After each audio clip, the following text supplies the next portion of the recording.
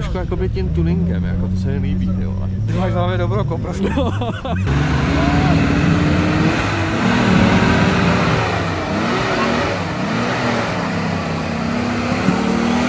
Čus party, já vás vítám u nového videa a v dnešním videu se budeme opět jak jinak věnovat tady diskotéce. Jak už jsem říkal v posledním díle, tak se budeme věnovat eh, ložisku na předním kole, což si myslím, že je spjatý s tou chybou toho ABS, jak mi to prostě přibržďovalo.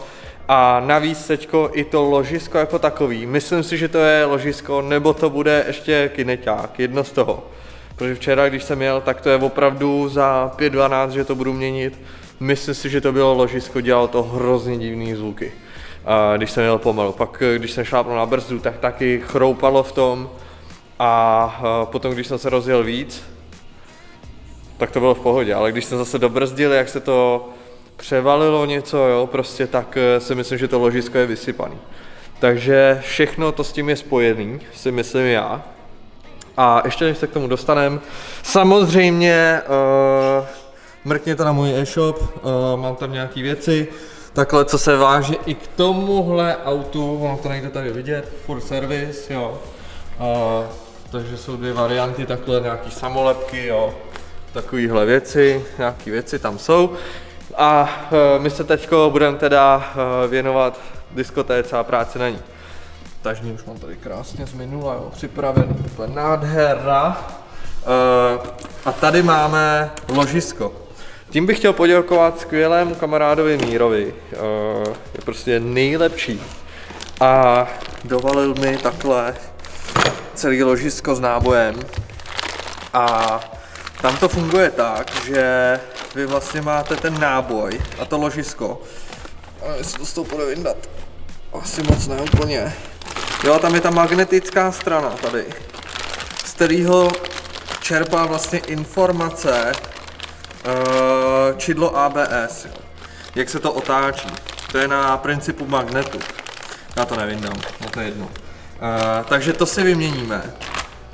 A uh, mám tady vlastně i to čidlo, to mám tady, ale tak to uvidím, co to je úplně nový jenom jsem to tam zkoušel, akorát se s tím nemohl vyjet, tak uh, to si uh, vyměníme když tak taky, když to bude špatný. Ale myslím si, že bude hlavně problém v tomhle tom. Bude k tomu potřeba sundat teda logicky kolo, povolit, já nevím, tam je nějaká 32 to bude, nebo něco takového, vlastně ten náboj, což uh, udělám asi tak, že nevím, jestli vydám tu pokličku teďko takhle, že bych to povolil, jako když to bude stát na zemi, aspoň abych si to povolil, protože tady tím rázákem to uh, nepovolím určitě, ten zase tak silný není. Takže bych to zkusil povolit takhle na zemi a potom sundáme brzdový třmen, respektive sundáme ho z té těhlice, pověsíme si ho a potom už by to mělo držet na čtyřech šroubech, jo, který by měl být mimochodem tady v tom balení, to nevím, jestli tady je, jo, jsou tady.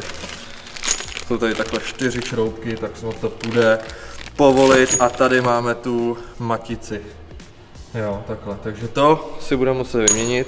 V životě jsem to nedělal, opět je to premiéra, ale člověk by se měl naučit nějaký nový věci, takže uh, pustíme se do toho. No hoši, tak uh, zkoušel jsem tady úplně všechno, nahřejvat to, uh, aby to šlo povolit, odvrtal jsem si ten tu Tady je to jakoby zaseklý, tak to jsem si odvrtal. No a teď se mi povedlo tady už druhý zlomit tadyhle ten ten v tom ořechu, jo. Takže tohle úplně si nejsem jistý, jak vyřeším. Ještě teďko jsem volal Radkovi, tak uh, jako si pojedu pro velkou asi tu golu. Co říkal, že ty tohle to z toho možná ani nevyndám, už to se vohlo v tom normálně. Tak uh, zkusím to. A snad to půjde, ještě to nahřeju, ty vole, to jako zase, to nemůže být tak utáhlý, tohleto. To je brutální. Jako. No, tak uh, jedu tam, zkusím to velkou golou, já doufám, že jako, že to povolím. Uh, takže já jsem si od Radka počil tady teda velkou uh, golasadu. Tadyhle z toho macíka. A tím jsem teda zabejčil a sundal jsem to, po, nebo respektive povolil jsem to. Teď jsem tady musel sundat takhle brzdič, rozdělat ho vlastně na ty dvě části, tamhle ten držák toho třmenu, protože já jsem se nemohl dostat tadyhle na ty šrouby, protože já nemám vořech ten tisícihranový, takže já jsem to musel udělat takhle tadyhle s tím, docela bejčička, uh, ale mám to dole.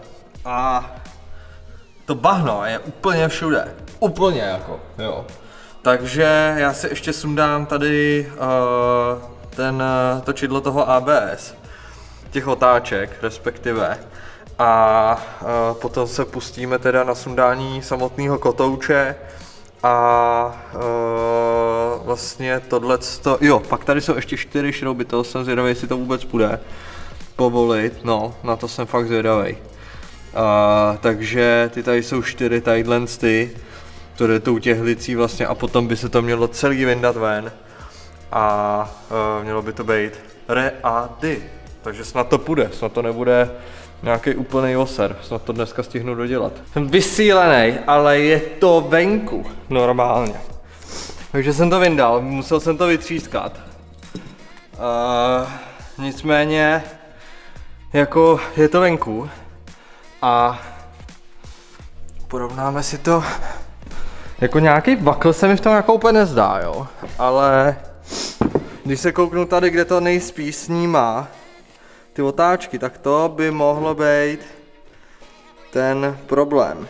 Nějaké ložisko jako takový se mi nezdá jako špatný. Když si to vemu, že bys to... Nevím. Já mám za to, že tady dlen z toho by měl být ten kroužek, z kterého to snímá ty otáčky, jo. Tady si to otáčelo. Jo. No, jako tohle se točí líp, no. No hele, tak eh, jdem to tam zkusit dát a když to nebude ono, tak to bude už jenom ta polosa. Tam už nic jiného nemá být. No, tak eh, jdem to, jdem to tam dát zpátky a uvidíme. Složím to a když to bude polosa, tak nevím, jestli tu bych vyměnil teda sám. To jsem taky nikdy nedělal úplně. Já očistím celý tadyhle ten ten ještě. Takže to je takhle, já to celý prostříkám, očistím to tady rovnou, když už v tom jsem. A uh, bude to, no a jdem to poskládat zpátky a jdu spát, jako, protože jsem z toho zabitý. Nemyslel jsem si, že to bude až takhle prekérní práce, jako jo. Takže, takže tak no. Tak jo, ložisko vyměněný. A nejhorší to bylo klasicky povolit, a jak to bylo všechno zarezlý, jako všechno tady na tom autě. A nicméně se povedlo, je to na místě, zítra to pojedu projet, protože teď už je jako pozdě, tak uh, někam s tím jezdit nebudu, nechce se mi vyjíždět. A uh, snad to bude to ložisko, nevím, uh, pokud by to nebylo to ložisko, tak si myslím, že to musí být zákonitě ta ten kineťák na té polose a, a tam už pak není nic jiného, co by to mohlo dělat. A ten zvuk jako. Uh, uvidíme, jestli to pomůže tomu ABSu, když tak potom jako už si s tím nebudu vědět rady, tak uh, to odvezu někomu, kdo se tady s těma automa jako zabývá, aby to napích, aby mi rovnou, kdo vyloženě na to má tu diagnostiku, aby mi to napích, aby mi se řídil tu vejšku a vlastně, aby to bylo celý v rovině to auto, protože furt to auto je, není to skonfi- ne skonfigurovaný, ale no, prostě aby to bylo v rovině, není to jako každý, každý, takhle, každá ta vejška na každém tom kole je jiná prostě, jo, což by mělo být za mě stejný. Uh, takže to bych potom odvez někomu, aby mi to sladil. To se dělá podle diagnostiky, co jsem si zjistil a uh, tak. Jinak uh, se zdá teda, že vzduch tam drží, protože to auto tady stálo tři, tři dny a vůbec to nelehlo, jako furt to zůstalo stejně, takže to asi drží, takže tomu pomohla i ta výměna toho kompresoru, uvidíme tohle. A teď, když jsem si tady ještě točil s tím ložiskem, já nevím, jestli to bude slyšet, jo. Když to dám takhle. Ty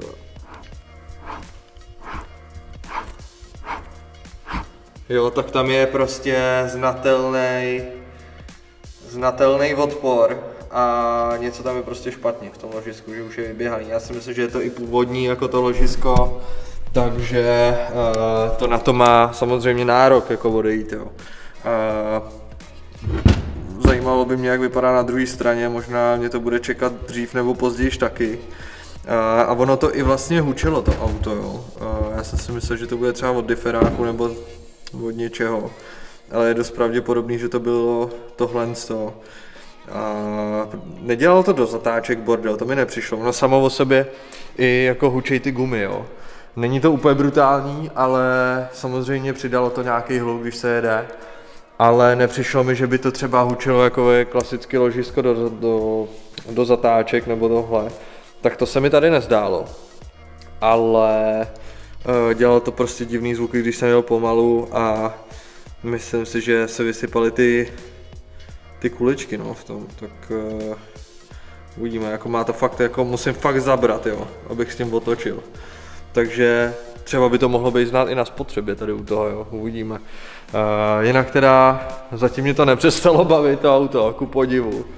A uh, zase jsem se naučil trošku jinou věc, nikdy jsem tohle to neměnil, tak uh, nejsem úplná lopata, jako snad teda, tak, uh, takže to mám takhle, no. Uh, a my pokračujeme teda příště nevím s čím a uh, dáváme to prostě pomalu dohromady to auto, aby to bylo jezditelný, no. Takže zase příště. Nevím, co se tam rozbije teda. no, hele, uh, tak uh, máme tady updateíček, on tady byl Míra, takže se došli na kofíčko. Došlo i na to teda, že teda nakonec uh, výměna ložiska nepomohla, jenom trochu. Uh, každopádně nehučí to tolik, ale uh, jsou tam furt vibrace, do volantu je to prostě, je tam vůle cítit nějaká lehká a když jedu přes nerovnosti, tak v tom trochu mlátí. A hlavně, když se rozjíždím nebo zpomaluju, jako přibržďu, tak v tom začne loupat. Takže uh, tam už není co jiného by bylo špatného než polosa. Takže jsem tady skončil u poloosy. Takže jsem objednal novou, rovnou i s tím kroužkem, že tam by problém být neměl. A nikdy jsem to neměnil, jo, zase. On by se dal vyměnit jenom ten kineťák, jo. Ale tím, že já nevím, jestli je špatný i tadyhle ten vrchní, jo. Nebo respektive ten, co je víc jako do, do auta, do toho riferáku, tak uh, jsem radši objednal celou. Ona, tadyhle ta, není to Origo, je to nějaká druhovýroba, nevím, uh, tak uh, vyšla asi na nějakých celých 6 tisíc. Takže jsem to radši vzal celý, jenom samostatný ten kineťák, tady ten, ten venkovní, ten tuším vycházel na nějakou dvojku. Takže to zase přemýšlím nad tím takže to, co vyndám, tak eh, já ho rozeberu a potom třeba bych, eh, když by se mi to uh, rozbilo znova, tak bych si už jenom objednal ten kineťák, když bude tenhle ten, ten vnitřní, když bude v pohodě, tak bych si to jenom to a budu to mít připravený. A nebo třeba kdybychom jeli nějakou delší cestu nebo tohle, tak eh, si to třeba můžu vzít sebou, kdyby náhodou, protože já si myslím, tím, že se to auto zvedlo, dali se tam takovýhle kola, tak už ten kineťák byl načatej a prostě tím, jak je to jakoby vykloněný do tohohle z toho úhlu, když to vemu jakoby, jo, takhle to kolo, když ta, ta polosa je takhle, tak eh, si myslím, že eh, to tomu vůbec nepomohlo a uh, spíš jsem ho takhle dodělal. Ještě tím, jak jsme jezdili v tom terénu, tak to tomu nepomohlo, jestli byl načatej. Takže rovnou ho vyměníme, já doufám, že to všechno půjde povolit a snad to půjde vyndat z toho, z toho diferáčku tady, jo. Takže, takže uvidíme, no. Bude to krásný.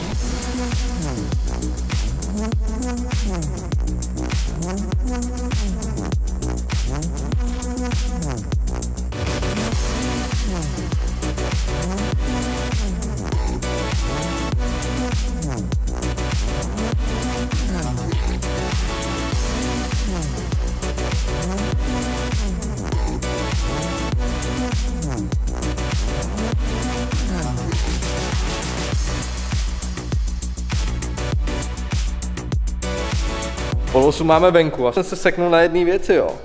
A mně se podařilo, já jsem si totiž blbec, jak jsem eh, to dělal, tak já jsem blbec si nevyndal uh, ten šroub té polosy, tady co je vlastně v tom náboji. A já jsem to vytáhl celý, ale já si myslím, že stejně by se mi to stalo, jo. protože uh, mně se vlastně to vytáhlo uh, z toho vnitřního kloubu, tohle z toho. A tím já jsem pak s tím nemohl vergolovat, ale tak jsem to rozříz normálně a zůstal mi tam ten vnitřek. Tenhle ten, jo. A uh, vy vlastně, abyste to vyndali, tak to musíte tady podpáčit, jo, tamhle úplně nějak. A tam je takový okroužek, tadyhle. Jo, teď jde tady vidět, možná když s tím hejbu. Tam je takovýhle okroužek. A ten to tam drží, jo, tu polosu. Takže, uh, ježiši. Takže já vám to ukážu tady, na tý nový, jo. Bude lepší asi. Uh, takže mi tam zůstala vlastně tadyhle ta, část celá, jo, v tom diferáku. A tam je takovýhle okroužek. Jo. A ten to tam drží, takže vy musíte vynal, vy, jako vynaložit nějakou sílu, abyste to vyškubli ven. Uh, koupil jsem si kvůli tomu tady ty pajtry a ve finále nechal jsem tam sedm stovek za pajtry tady a stejně mi to nepomohlo. Nakonec jsem to teda dostal ven tadyhle takovým megajrovským vynálezem. Když se kouknete, tam mi to za to visí. A takhle jsem si to vyto a vyškubnul jsem to, obvázal jsem to a vyškubnul jsem to ven normálně takhle kladivem. Dal jsem si sice trošku do držky, ale eh, je to venku, to je hlavní. No a uh, tohle mi poradili teda kluci na fóru. Přeci jenom ty Land Rovery se opravují jako dost často a myslím si, že tohle to bude zrovna věc, která jako fakt se dělá docela uh, často. Takže věděli jak na to, tak mi poradili takovýhle MacGyver vynález. Bylo to teda s tím, s tím obráceným kladivem, takže já jsem si to vzal tady, protože obrácený kladivo nemám, tak jsem si vzal tohle z toho a vytáhnul jsem to krásně ven, jo. Takže teď si to tamhle očistím, no a půjdu to skládat zpátky, no. Dáme tam novou polosu, snad to bude cajk. Dílo se daří, akorát mám jeden jediný problém, jak jinak už je to nastrojený, polosa už tam je, to byla celkem brnkačka, stabík taky, ještě tam dám třmen, a jediný, s čím mám problém, tak jak jsem to tady povolal, tak jsem samozřejmě uh, ukroutil, nebo utrhl jsem ten šroub, který tady drží. Uh, vlastně ta hadice od brzdy. Nicméně jsem to vyvrtal, odvrtal jsem ho, no a dělal jsem si tam závit, no a já jsem tam zatrh ten závitník, což se úplně jako mi nepodařilo teda no. Takže uh, to pak budu muset odmrtat. Teď uh, jsem na to zlomil samozřejmě vrtáček jo, z Lidlu. Takže zítra koupím nějaký pořádný vrták a odvrtám to, bude to celkem sranda, ale prozatím to asi chytím fofrpáskama tady nějakýma, no. A můžu vám říct, že mě začíná bolet trošku v krku, jako. Takže já se půjdu snad léčit normálně, no. Možná už tady z toho Land Rovera, protože to je furt něco, opravdu ale uh, další teda problém vyřešený, nicméně si myslím, že to nepomůže tomu problému s tím podvozkem, jo, takže to úplně teda nebude slavný, ale aspoň už to nebude dělat divný zvuky a uh, bude to snad vyřešeno takto, no, takže já to teďko tady uh, dostrojím a bude to vše, no, a on ho, kdybyste to náhodou dělali, chtěli se vyměnit tu polosu, tak vy vlastně sundáte jenom tadyhle ten, eh, tadyhle ten šroub. Do toho stačí potom klepnout, ono vám to spadne dolů. Tyčku stabilizátoru si povolit. A nemusíte sundávat ten kotouč, jo. Ani ten náboj ve finále, tam to jde pak hezky vytáhnout, když vám nevyjede ta poloosa. Pokud vám vyjede, tak to musíte udělat stejně, jako jsem to udělal já, abyste tam měli místo, abyste vysunuli ten náboj a pak to vyndali ven. Takže opatrně potom Hlavně si povolit ten šroub, ne ho tam nechat, jak já jsem ho tam nechal, tím by to vytáhlo uh, tu poloosu tamhle, jo. Jinak teda ještě uh, k té poloose tady, tak ono mi to vlastně bylo tadyhle z toho, jo. Uh, v té polose, já nevím, jestli mi to půjde, no jednou rukou mi to nepůjde, ale prostě tady v tom je vůle jako velká, jo, docela. Takže to byl celý můj problém. A uh, já si ji nechám, Nicméně budu mít připraveno na příště, tak si když tak prostě objednám už jenom uh, ten kineťáček a vyměním si to a potom to tam mrsknu. Takže uh, tyto dvě věci jsme si vyměnili krásně. No a já to opravdu půjdu nastrojit, jsem hotovej, jo. Tady jsem zase zničil nějaký nářadí, no, klasika. Já to jdu dostrojit, teda, jak jsem říkal, a vy se mějte hezky. Mrkněte když tak na e-shop, protože kdo má Land Rovera, tak potřebuje samozřejmě toto. A ještě si pohrávám s jednou myšlenkou, že bych to logo udělal i sem, že by se to dalo přelepit, což si sem 100% pro sebe udělám, nevím jestli už za tu dobu to bude třeba na e-shopu. Takže uh, bude tam prostě furt servis, protože to tomu autu prostě odpovídá. Jo. Takže mějte se hezky, vidíme se zase příště, nevím s jakým autem, doufám, že už ne s Land Roverem, jo. Doufám, že si budeme hrát s jiným autem, jako tomu bylo dřív. A no, mějte se hezky, čus.